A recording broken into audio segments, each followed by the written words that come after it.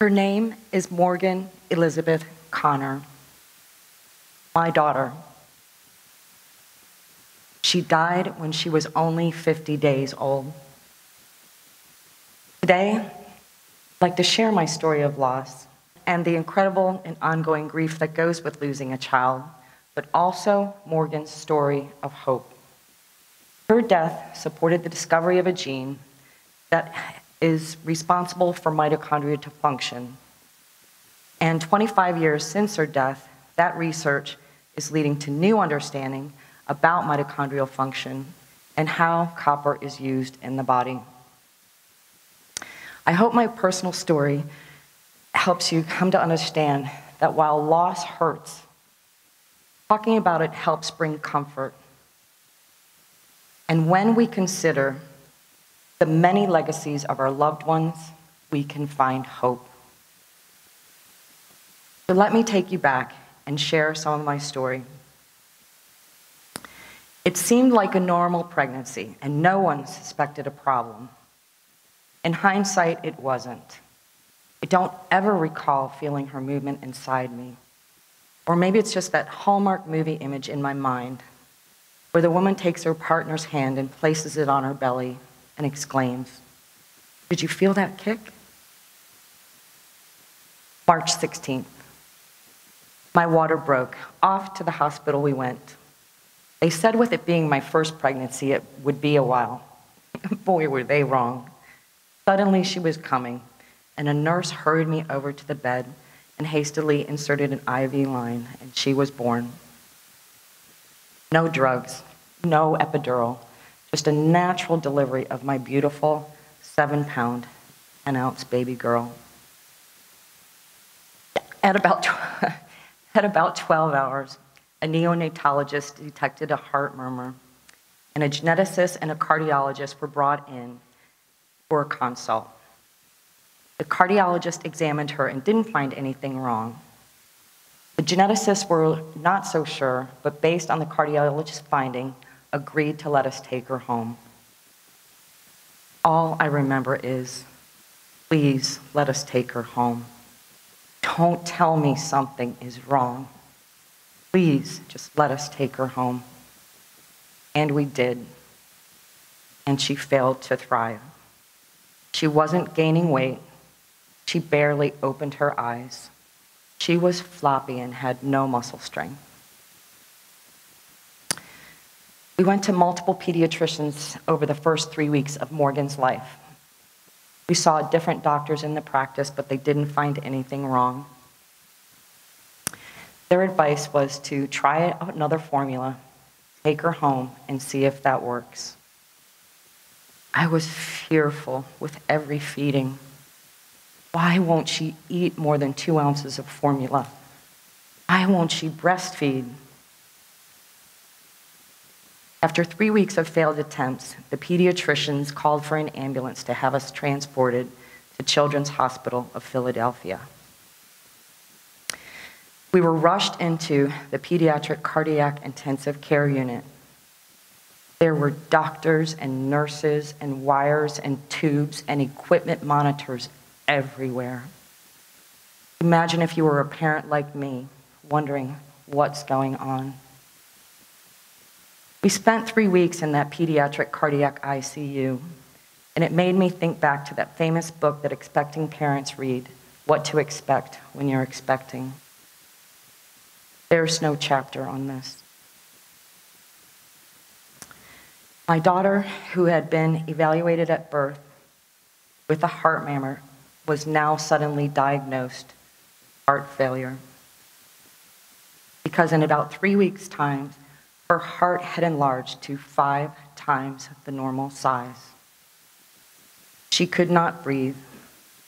Her heart was huge in her tiny body. There was no room for her lungs to expand. I could no longer hold her because she was now bound by the tubes to feed her and the wires with monitors to measure every heartbeat and breath she took. Day by day, we stayed by her side, numb and exhausted, hoping to have some hope to take her home. They tried test after test and drug after drug, along with a muscle biopsy, to try to sustain her and figure out the cause of her heart failure and ways to reverse it. When the biopsy results came back, that was a defining moment. We were called to meet with her care team to review their conclusions. They let us know that they suspected she had a mitochondrial disorder. Mito what? At that time, very little was known about mitochondria, and it certainly wasn't in the realm of any parent's understanding. The biopsy revealed a dysfunction in her mitochondria, so she couldn't produce the energy needed for her body to sustain life. If we agreed, they told us they had suggested they could take her soon after her passing in the hopes of sending her tissues to the leading researchers with mitochondrial disease. We agreed. May the 4th has so much significance for so many Star Wars fans. It has a totally different vibe for me. That was the day I could finally hold her in my arms again. As they took her off life support and she took her last breath in my arms in a rocking chair. And then they took my daughter for the last time. We were finally released to go home, home to the empty nursery we had so carefully prepared with beautiful themes and colors and furniture and clothes and soft pink baby blankets. We had her funeral in the tiny coffin donated by the funeral home. Somehow, the universe noted how wrong it was to have to bury a child as the loudest roar of thunder occurred just as she was lowered into the ground. I did not ask to be in this club, the club where you're left dealing with the loss of a child, the club that no one wants to be in. Everyone is there for the immediate loss, but absent in the silence and painful years that follow. The reality is that grief does not end. It doesn't fit in a tiny shoebox that we can store in our closet or attic or garage or basement. It doesn't go away. In order to distract myself from my pain, I started to learn about mitochondrial disease and learned that they are a group of disorders that can affect us at any time from infancy to late adulthood and affect nearly every organ of our bodies, producing multiple symptoms. Although it didn't exist at the time of my daughter's death, Children's Hospital of Philadelphia is now a center for excellence and expertise in mitochondrial medicine, where they report that every 30 minutes a child is born that will develop a, a mitochondrial disease by the age of 10, and that approximately 1 in 4,300 individuals in the United States has a mitochondrial disease. Mitochondria are referred to as the powerhouse of the cell because their main function is to produce energy for our bodies to function and survive. Mitochondria are tiny cellular compartments in nearly every cell of our body, and when they don't function properly, less energy is produced and organ dysfunction occurs. Months went by and by after her death I numbly navigated going back to work, deconstructing a nursery never used. I needed answers. I needed to know what happened to my daughter. And then I learned of the discovery. Her tissues had been sent to Columbia University, where a postdoctoral student in 48 hours made the discovery and characterization of the SCO2 gene. In 1999, they wrote about my daughter. The paper was published in one of the most prestigious scientific journals for genetics and heredity, Nature Genetics. In 1999, her care team and a postdoc student told the story about my daughter and two other infants.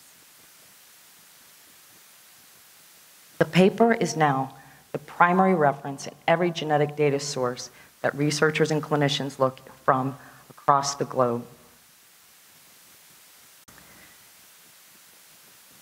Over the years, I've found myself following this paper and looking at research papers that cited the paper about my daughter, and I felt compelled to know more about the first author, Lefkothea Papadopoulos. In January of 2021, I found a paper with her email address on it. I wrote her introducing myself as the mother of the infant cells she wrote about in 1999. I never imagined what happened next. Lefkothea let me know her gratitude for my daughter and that studying SCO2 had become her life's work at her lab in a university in Greece. She, in 2022, then filed a patent for a novel PTD IVT mRNA approach for the successful intracellular expression of a gene. We remain in contact, but she is currently seeking funding and partnerships to take this into clinical development. As close as Texas A&M, Dr. Vishal Gohil recently entered into a commercialization agreement for a repurposed cancer drug based on his research related to SCO2. I had reached him, and he invited me to speak to the students in his lab. Many of us shed tears that day as the students realized the endless hours spent in the research lab now had a human connection. Over 450 researchers have been influenced by the research of my daughter. And I've come to learn that SCO2 has a role in transporting copper in the cell and the cellular process in mitochondria that leads to generating adenosine triphosphate, ATP. ATP produces the energy our bodies need to function and survive. Genetics designed her fate, and it was not some fault of my own or her father's. I hope this message resonates with those of you that may have lost a child to miscarriage, or have a child with a rare genetic disease. I could not control her fate. I could not choose for her to have a different genetic makeup.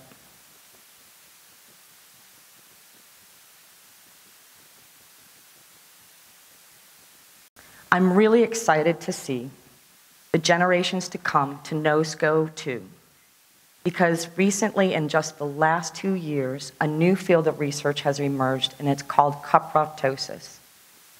Cuproptosis has to do with manipulating copper in our cells.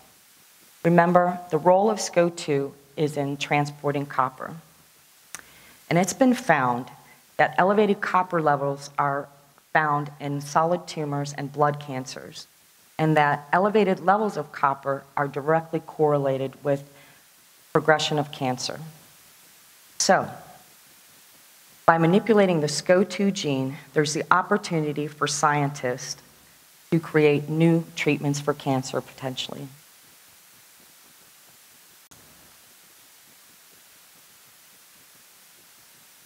Because of my daughter, new understanding has been found for multiple diseases, including Parkinson's, autism, rheumatoid arthritis, and aging. I had an answer to my loss and my miscarriage, and I can only imagine what it's like for those of you who may not ever know the reason for your loss. It was a blessing that I had an answer. Loss hurts, but talking about us helps to provide healing. I hope through my personal journey that you understand a new understanding about research and scientific discovery and that talking about loss helps to provide healing. The legacy of our loved ones lives on in many ways. What is the legacy for one you loved and lost? Thank you.